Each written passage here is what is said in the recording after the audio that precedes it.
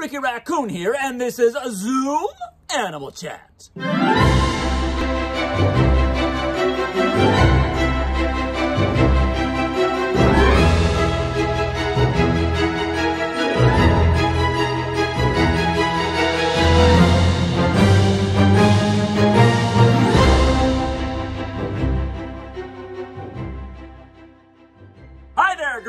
Rangers. Ricky Raccoon here, and welcome to the Green Rangers Monarch Butterfly Habitat. Uh, This is my younger brother, Bandit. Hi. And what are you working on, Bandit? I was documenting the growth of these monarch butterflies in my nature diary before you interrupted me. Drawing the plants and animals that you observe in nature is a wonderful way to learn about the world around you. Wow, that is a really great cocoon. That's a chrysalis. Moths come from cocoons. Butterflies come from chrysalises. Ha, all this talk of butterflies and chrysalises reminds me of my good friend Monica, the monarch butterfly. Let's meet her now. Greetings, Your Majesty. Hi, Ricky! Hi, Green Rangers! What are you doing? Uh, uh, I, I always bow in the presence of royalty. Oh, ho, ho. While our name was inspired by Prince William of Orange, who became King of England, monarch butterflies aren't actually monarchs. I knew that. So, Monica, where are you right now? Hanging out on the California coast, I'm roosting in this butterfly grove with 20,000 of my closest friends. We're waiting for the weather to warm up to start our migration north to Canada. So monarch butterflies, or Danaus plexippus, migrate? Just like some birds?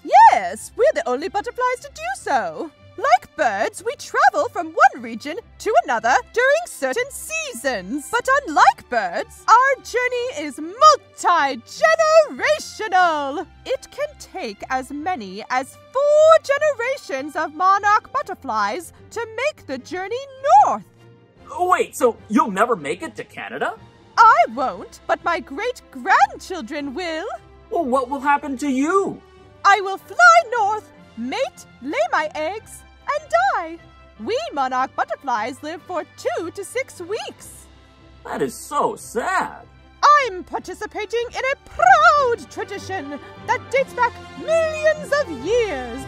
It's what I was born to do. What happens after your great grandchildren make it to Canada? They will mate, lay their eggs, and die.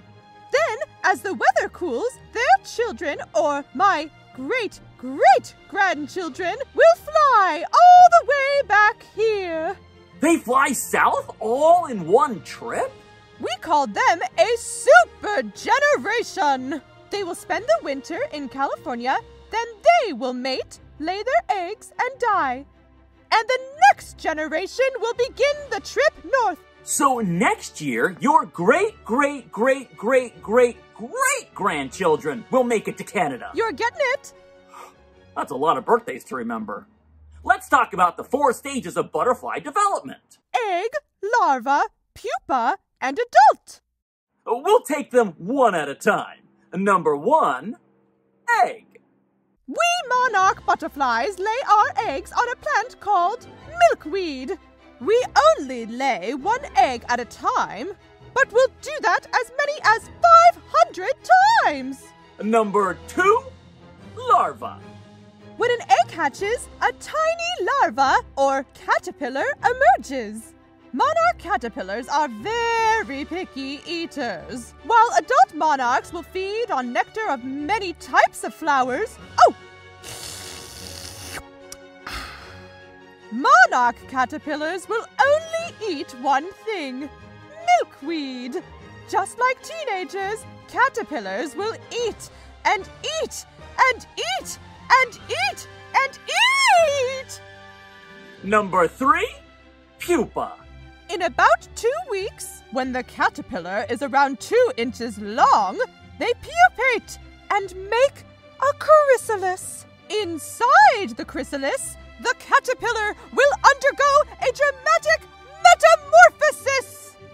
Number four, adult. After spending 9 to 14 days in the chrysalis, a full grown adult butterfly will emerge. And they will be up and flying in an hour! Monarch butterfly wings are are so beautiful. They might look beautiful to you and me, but to would-be predators like birds, our orange and black wings are a warning. They say, danger! Do not eat or else. Or else what? Or else you might get a tummy ache. Milkweed contains cardiac glycosides or cardenolides, which are toxic to animals if consumed in large quantities. Basically, we taste terrible. That's good. Green Rangers! Let's all transform into butterflies together. Uh, first, let's pretend that we are larvas or caterpillars that just hatched from an egg. Oh, look! Milkweed! Nom nom nom nom nom nom nom nom nom nom nom nom nom nom nom nom. Time to pupate! Everyone, wrap your arms around yourself like this and pretend that you are in a chrysalis. Now it's time to slowly emerge. Open your wings for the first time. Wow! Look at those beautiful butterflies! Now, let's pretend that we are flying north, like this. Whee! Speaking of flying north, it's time for us to migrate. Bye, Ricky! Bye, Green Rangers! Bye! I want to thank my good friend Monica for joining us today. And I'll see all of you next time on Zoom Animal Chat. Hey, a bandit! Let me see that chrysalis drawing again!